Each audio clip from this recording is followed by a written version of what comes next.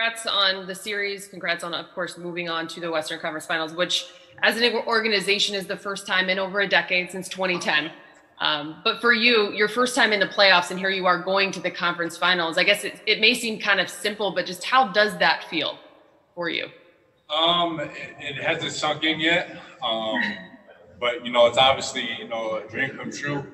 obviously, you play this game to win basketball games at a high level, compete uh, just like all your idols have in, in prior. And uh, you know, I'm in a situation where we have a great chance to win a championship, and you know, it's important to me. It's important to the group, and uh, I'm, I'm, very excited. Of course, as you know, each series presents uh, different challenges, new challenges.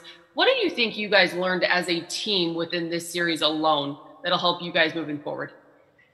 Um, you know, you can't rattle us. Can't rattle us. After the first game in uh, Portland, you know, they're really hyped, getting after it. Um, you know, we stayed calm. First game of this series. Houston coming in, um, hype. You know, we just didn't let it faze us and you know, kept attacking, kept being who we are, and uh, played Lakers basketball.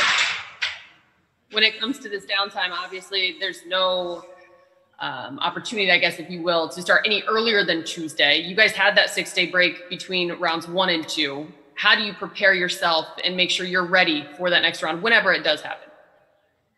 Um, well, first, I'm going to get a little mental relief. I'm going to wake up about 8 a.m. and I'm going to play about 18, 27 holes golf.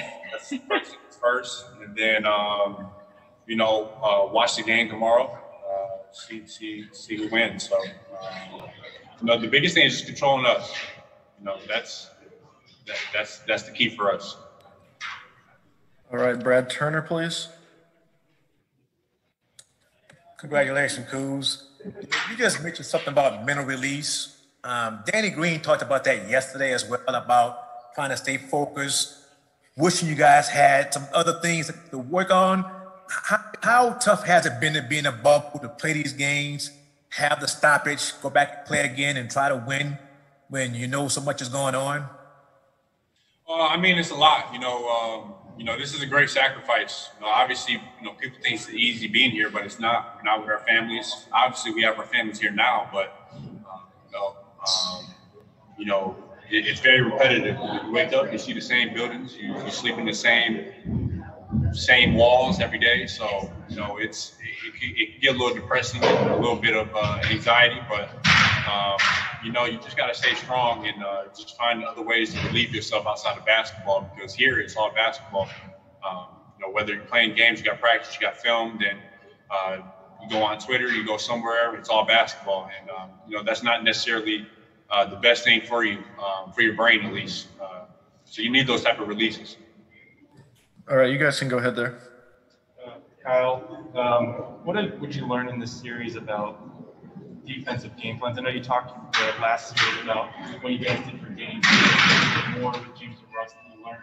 Um, you know, every every series prepares you for the next. Obviously, Dame and CJ uh, helped us out tremendously. Um, preparing for Russ and uh, CJ, or my bad, Russ and uh, Russ and Harden.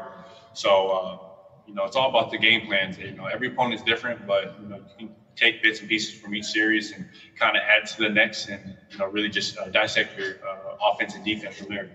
And also to follow up, um, you talked a lot about your your need to be a valuable defender. Um, how, how do you feel like you made progress, and, and where's your confidence at? Um, you know, I, I think I'm I'm making really good progress. I got a lot of progress to make still. Um, I want to be a great two-way player, and you know, this is this is a great year for me, great learning year. Um, just to learn how to play basketball the right way, winning basketball. Um, you know, giving myself up for the team, and you know, just doing whatever they need me to do. And um, that's on defense, and you know, I'm just taking the challenge and enjoying it. And, you know, just embracing every day, uh, becoming a better basketball player, and uh, you know, trying to win a championship. So. All right, Kyle, I'll take one more if we're, if we're done there. Um, Julio? Hey, Kyle. Um, the Lakers are able to play small ball, also big, big using big guys. What stands out the most from the Lakers? Sorry, uh, my signal. Hello, Can you guys hear me? Yeah, yeah, yeah. I apologize. My sorry. What stands out the most for the Lakers besides the, the, the other four teams that are playing right now? Uh, the biggest thing that we can just play big, we play small, we play in between. You know, we got a lot of versatility. Uh, you know, I can get in there and play shooting guard and have a big lineup, or you know, play Bron at the five, or you know, whatever. It doesn't matter. You know, we're we're just high IQ basketball players, uh, great versatility, and we all we all want it. And that's the most important thing. All right, I'm good, Kyle. Thank you. Yep.